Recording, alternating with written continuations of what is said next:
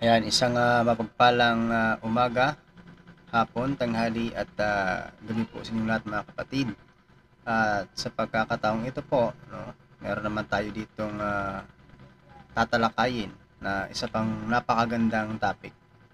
Ah, isang observation po ni Brother Wendell Talibong sa naganap na Senate hearing sa Senado.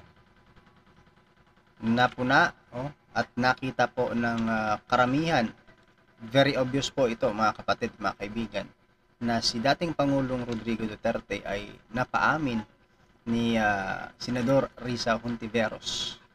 Aside from that, mga kapatid, ay mas lalo pang ah, lumitaw o napalitaw ang buong katotohanan sa pagkakataong ito. At alam niyo po mga kapatid at mga kaibigan, ay ah, malinaw dito na uh, sinasaad at uh, binibigyan ng komentaryo ni Brother Wendell Talibong ang issue na kung saan ay nako kailangan talaga natin na maging mapagsuri no, sa darating po na election this coming 2025 maging mapagsuri po tayo sa mga pinuno o sa mga leaders na atin pong ilalagay sa mga posisyon. As like uh, sa nangyari po no inamin ng dating pangulo na talagang meron siyang order na to punish o, o to to crush out or to erase those uh, criminals. And alam niyo po, nung napanood ko to si Senador Jingo Estrada ay uh, nagtanong din kay uh, dating Pangulong Rodrigo Roa Duterte at na, napaamin naman siya na uh, hindi lang daw, hindi nga lang daw yun na naangkop sa mga drugs issue bagko sa lahat po ng criminals daw dapat pagpapatayin. So napakaklaro at malinaw dito mga kapatid mga kaibigan kung anong klaseng leader po meron ang ating previous administrator, administration I mean, at anong meron tayo ngayon. So sana no, maging mapagsuri po tayo at maging mapagmatsyag at let's all pray for this coming election 2025 malapit na po yan. Uh, November na tayo ngayon December uh, December January February March April May. So we have only half a, half a year no? Six months to go or before tayo pumunta sa ating uh, 2025 election. Ito po ang inyong uh, abang lingkod Brother Mel A. Palma.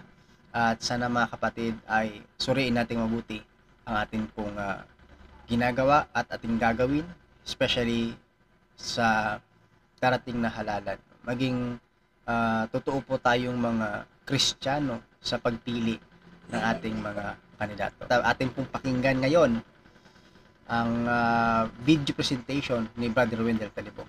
Brother Wendell, go ahead. Sinabi nyo na in-encourage nyo ang PNP na i-encourage yung suspect na lumaban. Yes. Para mapatay, para Yes. masabing nanlaban. Correct. Correct. It, Para ito to sa very ma-minimize. incorrect. Correct, yes.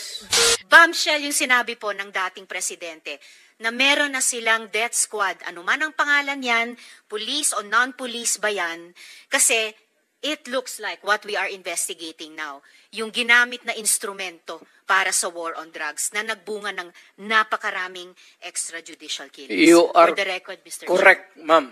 Tama Thank you, ka talaga. Mr. Chair. Tama ka talaga. So, ganito na lang. Huwag na lang yung pulis. Kawawa yan, wala yung put...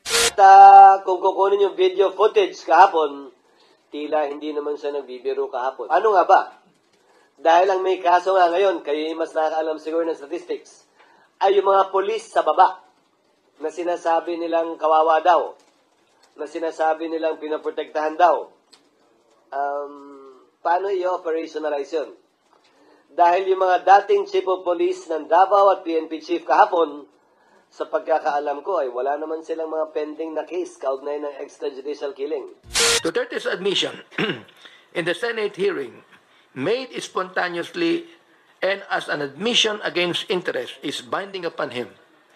This must be recognized as evidence. It is now up to the proper authorities to consider this statement carefully and ascertain the criminal liability of the responsible individuals.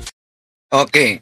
So, may pasabog si Senate President Chis Escudero sa kaniyang isinagawang press conference tapos sa Senate hearing na inabangan ng karamihan yung pagdalo ni dating Pangulong Rodrigo Duterte.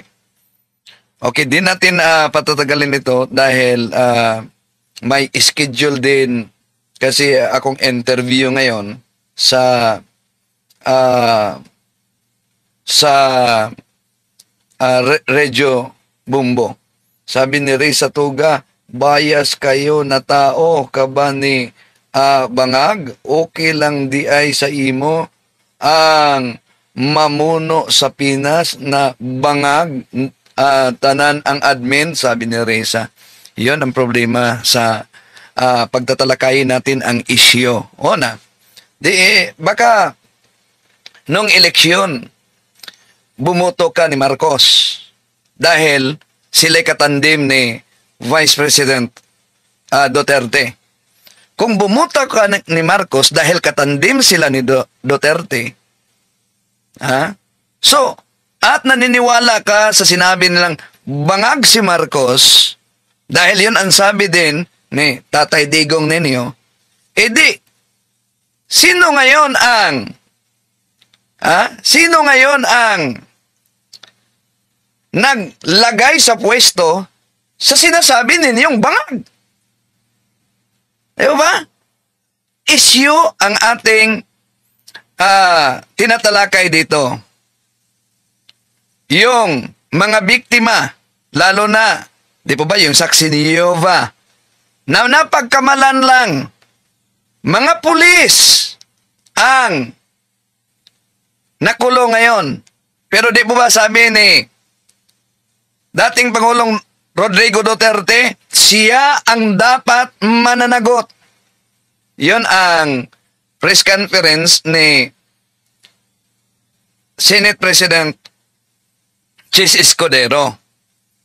Kung siya ang mananagot, bakit yung mga maliliit na polis ang nakulong? Ito ang ah, press conference. Ang malaking kung mapapansin nyo, karamihan naman ang sinabi niya kahapon, sinasabi din naman niya nung siya'y Pangulo pa. No, Parang wala namang bago, di ba?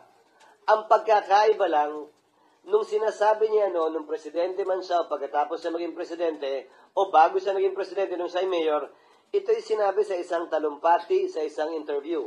Ang pinakaiba kahapon, lahat ng binitiwan niyang salita kahapon ay under oath pinanumpaan. At ah, sinabi niya, yan ay totoo sa abot ng kanyang ah, nalalaman na pwedeng magamit kung sakasakali pabor o laban sa kanya. Yun yung malaking um, pagkakaiba. Ngayon, madalas sinasabi ng ilang mga nakapalibot kay Pangulong Duterte, at dating Pangulong Duterte na biro lang yun, nag-joke lang yun. Hindi marami. No, nagtatawanan kasi sila, no? Na nang inaamin ni Duterte doon mismo sa Senate hearing yung mga hippie, mga leader daw. Tinuturo niya pati na si Bato. At sabi ng isa sa mga nandoon, joke lang 'yan. Ang problema, sinumpa ang salaysay yan. At doon sa sinumpaang salaysay, di yan makita na may tumatawa. Mananatili talaga yung sinusumpaang salaysay. To make his message known is our responsibility.